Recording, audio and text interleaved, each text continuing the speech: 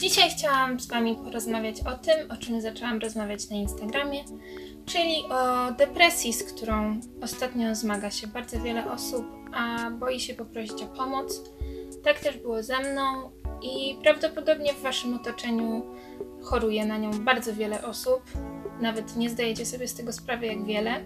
Ja też nie zdawałam sobie sprawy, dopóki nie podzieliłam się swoją historią na Instagramie i nie otrzymałam naprawdę ogromnej ilości wiadomości prywatnych od osób, które podziękowały mi za podzielenie się moją historią i mówienie otwarcie o zdrowiu psychicznym, bo niestety nadal jest to temat tabu.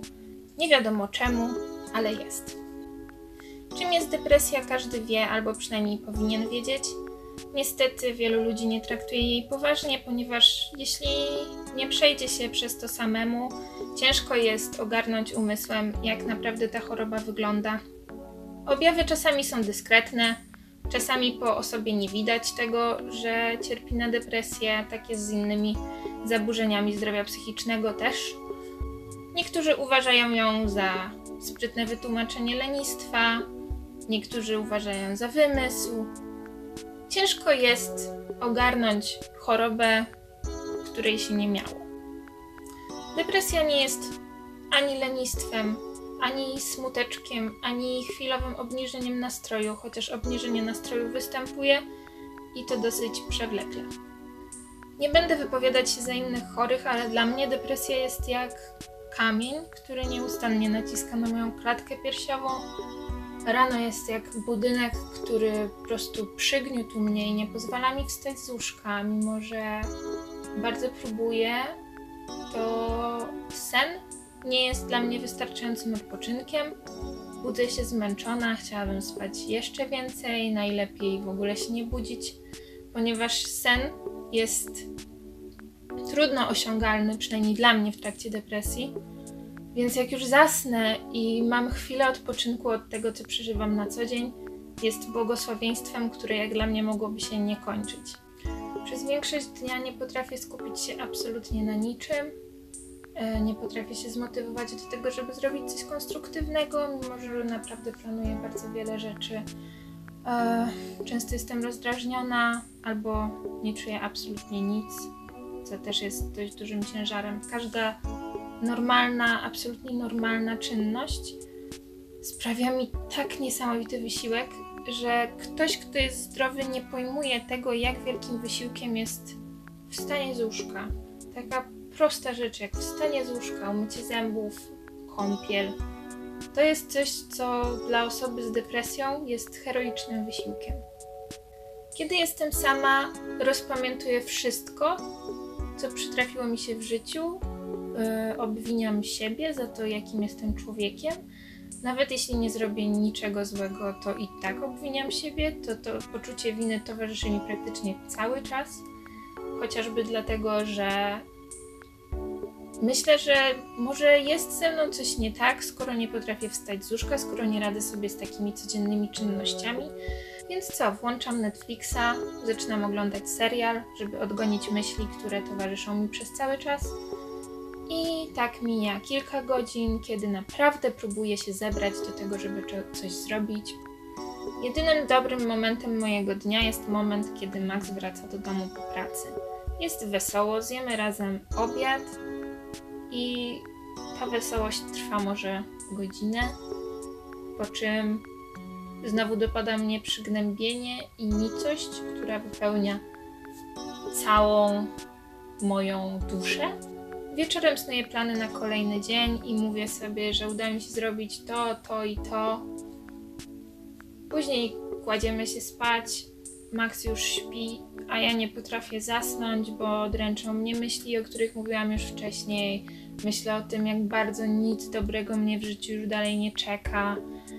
Myślę o tym, że po kolei będę tracić wszystkich swoich bliskich, a na końcu czeka mnie śmierć smutek, starość, wszystko, może nie w tej konkretnej kolejności. I te myśli nie pozwalają mi zasnąć często do naprawdę bardzo późnych godzin, więc rano znowu jestem zmęczona, znowu wielki kamień przygniata moją klatkę piersiową, znowu nie mogę wstać. I tak mniej więcej wygląda teraz każdy mój dzień. Już od nie wiem jak dawna, na pewno od kilku tygodni. To nie jest tak, że nie odczuwam radości w ogóle, bo w odpowiednim towarzystwie, przy odpowiednich okolicznościach zdarza mi się, że jestem w stanie czerpać radość z życia, ale te chwile nie trwają długo. Obecnie mam więcej chwil złych niż dobrych. Większość chwil spędzam dokładnie w ten sposób, siedząc w tym łóżku, oglądając serial albo siedząc przy komputerze, robiąc inne rzeczy, które nie są do końca produktywne, a chciałabym, żeby były. Od dłuższego czasu mam problem nawet z odebraniem telefonu od kuriera i stan szczerej radości pojawia się coraz rzadziej. Dlatego jutro idę do psychiatry, bo wiem, że już dalej nie dam rady sobie radzić z tym problemem sama. I to jest coś, o czym chciałabym dzisiaj powiedzieć, że depresja to jest choroba, z którą często nie będziemy sobie w stanie poradzić sami, dlatego trzeba iść do lekarza. To jest choroba jak każda inna, to nie jest chwila smutku, to jest problem, z którym trzeba sobie poradzić. Depresja jest chorobą, która, którą da się opanować. Może nie wyleczy się jej do końca, bo lubi wracać, ale da się ją opanować. I jeśli zastanawiacie się, czy to, co czujecie, to zwykły smutek, czy już depresja, zadajcie sobie pytanie, jakich chwil w życiu macie więcej, dobrych czy złych? Radzicie sobie z tym? Jeśli czujecie, że już takie zwykłe czynności sprawiają Wam ogromny wysiłek, to może warto umówić się do lekarza na wizytę, co nie jest teraz trudne, ponieważ jest portal Znany Lekarz, który pomaga osobom takim jak ja, które nie mają siły zadzwonić do przychodni ani dowiedzieć się w jakikolwiek inny sposób o lekarza, żeby się po prostu umówić na wizytę. To jest raczej dobre rozwiązanie. A skoro już o lekarzu mowa, znalazłam spis objawów, według których określa się, czy to już depresja, czy jeszcze nie. Depresja staje się prawdopodobna, o ile ujawnią się równocześnie co najmniej cztery objawy z tej listy, w tym co najmniej dwa podstawowe i będą utrzymywać nieprzerwanie przez okres co najmniej dwóch tygodni. Obniżony nastrój, brak energii, brak radości. To są pierwsze trzy podstawowe objawy depresji. Siedem dodatkowych to negatywna własna ocena, poczucie winy, myśli i zachowania samobójcze, niesprawność intelektualna, zaburzenia aktywności, zaburzenia snu oraz zaburzenia apetytu i masy ciała. Wśród tych 10 objawów myślę, że bardzo wiele osób byłoby w stanie znaleźć siebie. Dlatego, jeśli macie jakiekolwiek podejrzenie, że wy albo ktoś wam bliski cierpi na depresję, powinniście iść z tym do lekarza albo namówić osobę, którą podejrzewacie o depresję, żeby poszła do lekarza, bo jest to najlepszy możliwy scenariusz do tego, żeby w końcu wyleczyć się albo chociaż opanować depresję. Coś, na czym chciałam się skupić dzisiaj najbardziej, to jak pomagać osobom z depresją i jak im nie pomagać. Ciężko jest prosić o pomoc, ciężko jest też przed samym sobą przyznać, że ma się problem, dlatego to bardzo ważne, e, żeby delikatnie pokazać tej osobie, że poradzi sobie jakoś z tym problemem, że leczenie jej pomoże. Trzeba być przede wszystkim bardzo wyrozumiałym i cierpliwym. Nie zliczę, ile razy krzyczałam w środku, myślałam, że się rozpadnę, a jednocześnie chciałam tylko, żeby ktoś był obok, chciałam po prostu czuć, że nie jestem z tym sama. Czasem najbardziej pomaga mi zwykła wiadomość o treści: Hej, co u ciebie, jak się czujesz? Życzę ci wszystkiego najlepszego i żebyś miała dobry dzień. I takie wiadomości są niezwykle ważne, bo ludzie, którym nie jest obojętny nasz los, są niestety rzadkością. Świadomość, że mimo uczucia bezkresnej samotności jest tam gdzieś osoba, bliżej lub dalej, dla której coś znaczysz, komu nie jesteś obojętny, jest niesamowicie nieoceniona, wspaniała i ważna. Dla mnie takie osoby są jak światełka w ciemności i dają mi nadzieję na to, że będzie lepiej, że wyjdę z tego, że nie jestem sama. Jak w takim razie nie pomagać osobom z depresją?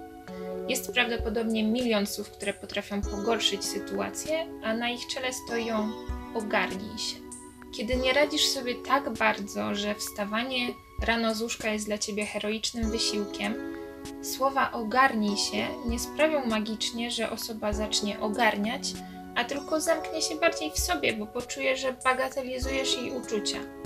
Co jeszcze? Nieśmiertelne wyjdź na spacer, e, zajmij się czymś, pobiegaj, idź na świeże powietrze. Dla kogoś zdrowego jest to prawdopodobnie nie do pomyślenia, że można nie mieć siły na takie proste czynności, a jednak osoby z depresją nie mają na to siły.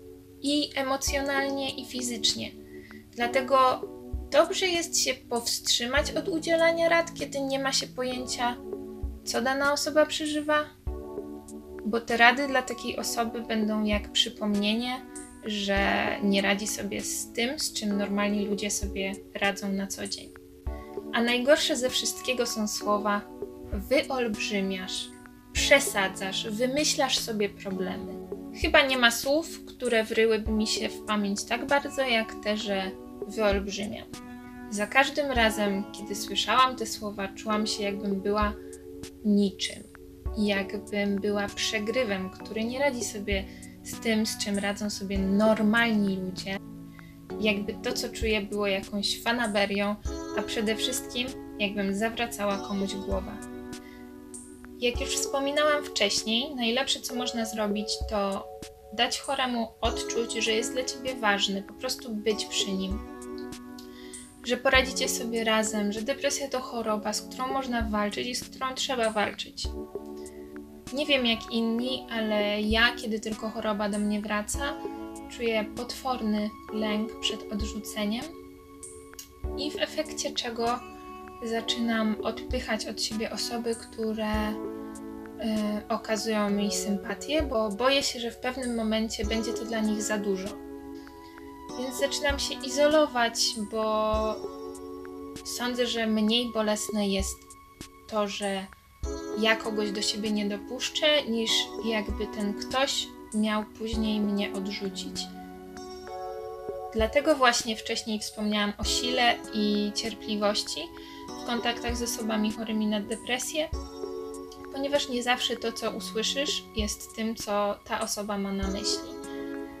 To, że nie odbiera telefonów, że nie odzwania, że nie odpisuje, nie zawsze oznacza, wręcz zazwyczaj tego nie oznacza, że osoba cię ignoruje albo że macie gdzieś Zazwyczaj po prostu rozmowa telefoniczna jest nie do przeskoczenia, a z własnych doświadczeń mogę powiedzieć, że często odbieram wiadomości i planuję na nie odpisać, tak jak planuję zrobić wiele innych rzeczy, i albo udaje mi się to po kilku dniach, albo nie udaje mi się w ogóle. I podobnie mam z mailami, którymi powinnam się zajmować, bo jest to jednak moja praca odpisywanie na wiadomości, odpisywanie na maile, ale często po prostu nie mam siły tego zrobić. Później mam wyrzuty sumienia z tego powodu, ale niestety nie przeskoczę tego na razie. A co jeśli na pierwszy rzut oka wszystko wydaje się być w porządku? Bo przecież są osoby, które osiągają sukcesy, które prowadzą normalne życie towarzyskie, które normalnie pracują, a jednak w środku czegoś brakuje i zdarza się, że brakuje tego tak bardzo, że popycha niektórych do samobójstwa. Zastanówcie się, ile znanych i lubianych osób w ostatnim czasie popełniło samobójstwo. Dla przykładu, e, Alexander McQueen, Chester Bennington, Kate Spade, Robin Williams to były osoby, które powierzchownie wydawało się, że mają wszystko, e, że są szczęśliwe, a jednak coś się wydarzyło w środku takiego, że nie wytrzymały już życia. I nie twierdzę, że śmierć tych ludzi nastąpiła na skutek depresji, bo nie wiemy tego, są różne zaburzenia psychiczne, które mogą do tego doprowadzić, ale jednak właśnie jak o zaburzeniach psychicznych mówiłoby się może głośniej, mówiłoby się o nich częściej i nie byłyby tematem tabu, to może wiele osób sięgnęłaby po pomoc i może nie byłoby tylu samobójstw. Tutaj też warto pamiętać, że choroby psychiczne nie wybierają osób ze względu na status społeczny i każdy może cierpieć na depresję czy inne zaburzenia psychiczne, niezależnie od tego, czy jest biedny, bogaty e, czy cokolwiek innego. I tutaj też wielu osobom nasunie się pytanie, skoro takie osoby, znane, lubiane, sławne, bogate, nie radzą sobie z życiem, to jak ja mam sobie poradzić? Jak mam sobie pomóc?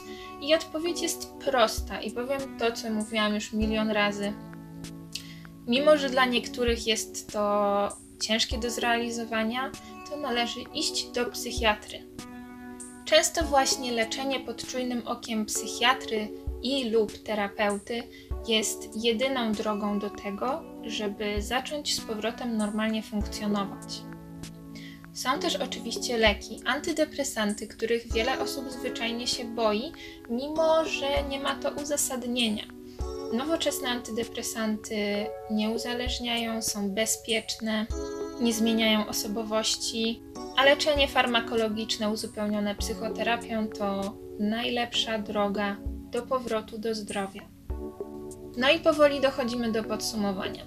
Chciałabym, żeby zdrowie psychiczne nie było tematem tabu, e, żeby depresja i leczenie psychiatryczne nie były powodem do wstydu, ponieważ nie ma się czego wstydzić, żeby więcej osób otwarcie mówiło o tym, jak się czuje, żeby nikt nie musiał słuchać, że płacz jest dla słabych, że tylko słabi chodzą na terapię, że trzeba się ogarnąć, zająć czymś, wyjść na świeże powietrze, bo to wszystko tylko oddala problem, a nie go eliminuje. Mi pójście z moim problemem do lekarza zajęło kilka długich lat, ponieważ z każdej strony słyszałam, że muszę być silna, że inni mają gorzej, że wyolbrzymiam, i w końcu zaczęłam w to wierzyć, że mój problem jest wyimaginowany i że może po prostu rzeczywiście jestem leniwa. Wy nie dajcie sobie tego wmówić jeśli czujecie, że macie problem, nie zwlekajcie z pójściem do lekarza. Ja wiem, że na tym etapie, na którym jestem, z moim obecnym stanem emocjonalnym, ja już dalej nie dam sobie rady sama, dlatego jutro idę do psychiatry i nie widzę w tym powodu do wstydu. Myślę, że e, jest to całkiem odpowiedzialna decyzja z mojej strony. Czuję się trochę silniejsza dzięki temu bo podjęłam decyzję, która zaprowadzi mnie do zdrowia. I szczerze powiem, że na początku ciężko było mi przyznać e, przed światem, że właśnie podjęłam taką decyzję, że idę do psychiatry, ale po ilości wiadomości, które dostałam od osób na Instagramie, od wielu, wielu ludzi, którzy tak jak ja zmagają się na co dzień z depresją, nie sądziłam, że tyle osób mi odpisze, nie sądziłam, że ktokolwiek mi odpisze a jednak było tych wiadomości naprawdę dużo, nawet nie wiem, czy udało mi się odpisać na wszystkie, to stwierdziłam, że jednak jest to dobra decyzja, bo może komuś ten filmik pomoże, może mój dzisiejszy monolog trafi do kogoś, kto tego potrzebuje i może e, komuś pomoże podjąć decyzję o leczeniu. Jeśli tylko będę na siłach, jutro nagram kolejny filmik o mojej wizycie u psychiatry i może ta seria odczaruje jakoś depresję. A wy powiedzcie mi w komentarzach, czy uważacie, że o zdrowiu psychicznym warto jest mówić głośno? Z jakimi problemami się zmagacie wy i wasze otoczenie? Co jest tematem tabu, o którym nikt nie mówi albo mało osób mówi, a powinno o nim mówić więcej?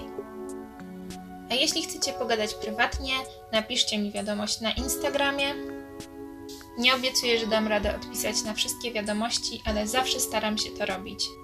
Do zobaczenia następnym razem.